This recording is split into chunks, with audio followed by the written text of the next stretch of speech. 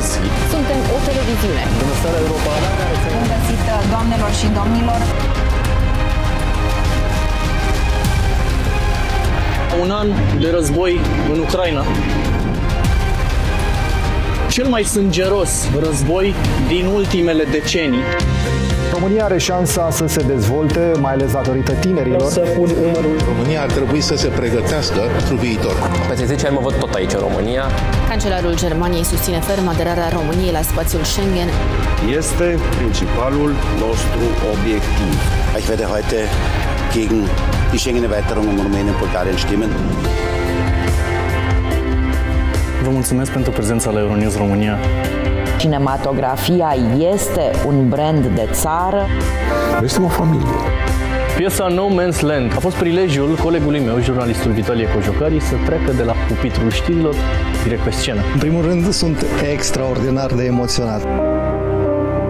Pentru jurnalismul de mare calitate. Euronews pentru emisiunea at UPB.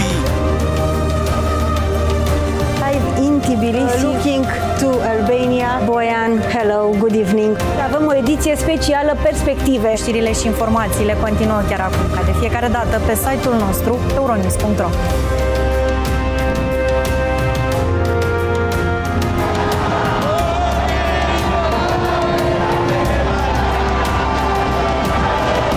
Euronews România, auguri! La mulți ani, Euronews România! Un oraș întreg aproape a dispărut. Era beznă, noi nu, nu știam ce se întâmplă în acel moment. Astfel de an n-are cum să fie uitat. Niciodată. Să fii prințul, asta e altceva, dar să fii regele, mai dificil. Noi suntem Euronews România. Aici vocea ta contează.